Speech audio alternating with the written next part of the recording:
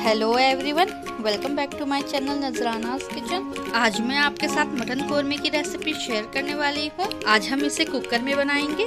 Cooker में ये बहुत ही जल्दी बन के तैयार हो जाती है। और ये देखने में भी कितनी बढ़िया और मज़ेदार लग रही है। आप इस रेसिपी को घर में ज़रूर ट्राई करें। ये आपको बहुत पसंद आएगी। और ये रेसिपी अगर आपको अच्छी लगे तो मेरी इस वीडियो को लाइक करें चैनल को सब्सक्राइब करें, साथ ही बेल आइकन को भी ज़रूर दबाएँ।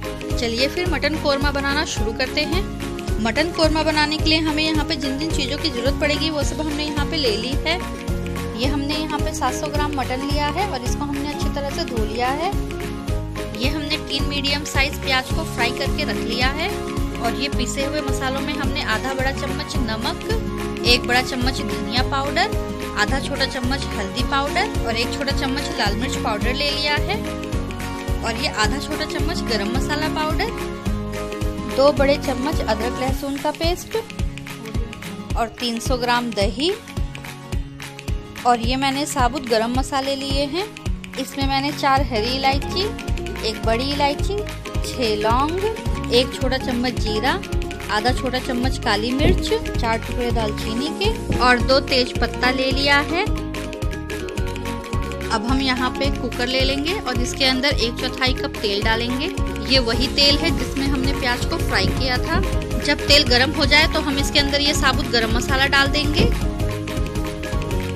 और जब मसाले हमारे चटक जाए तो हम इसके अंदर ये मटन डाल देंगे।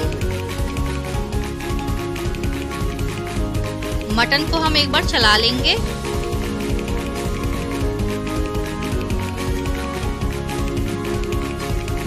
हम इसके अंदर दो बड़े चम्मच भर के अदरक लहसुन का पेस्ट डालेंगे।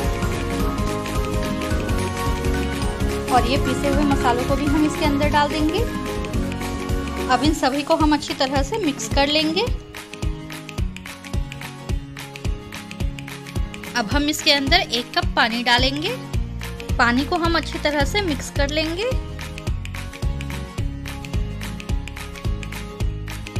अब हम कुकर का ढक्कन लगा के इसमें दो सीटी लगा लेंगे। अब हम ये दही और प्याज को पीस लेंगे। दही और प्याज को पीस के हमने ये देखिए इस तरीके का पेस्ट बना लिया है।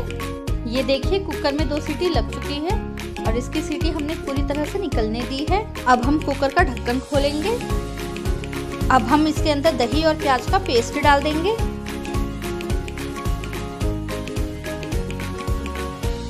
अब हम आँच को तेज कर लेंगे और तेज आँच पे इसे अच्छी तरह से भूनेंगे जब तक कि इसका सारा तेल छूटने ना लगे। ये देखिए मटन हमारा अच्छी तरह से भून गया है। अब हम इसके अंदर लगभग डेढ़ कप पानी डालेंगे। अब हम इसे अच्छी तरह से मिला लेंगे। अब हम इसके अंदर एक चौथाई छोटा चम्मच केवड़े का अर्क डालेंगे। और इसके साथ ही हम इसके अंदर गरम मसाला भी डाल देंगे। अब इसे हम अच्छी तरह से मिला लेंगे।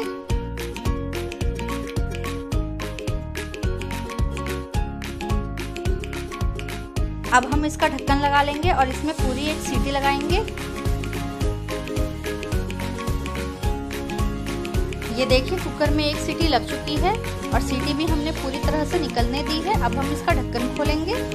तो ये देखिए बन के तैयार है हमारा कुकर में मज़ेदार मटन कौरमा। चलिए अब इसे डिश आउट कर लेते हैं।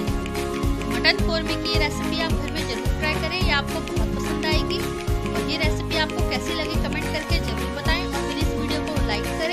अगर आपने मेरे इस चैनल को अभी तक सब्सक्राइब नहीं किया है तो प्लीज़ से सब्सक्राइब करें। फिर मुलाकात होगी एक और नई रेसिपी के साथ नजराना किचन में तब तक के लिए अल्लाह हाफिज़।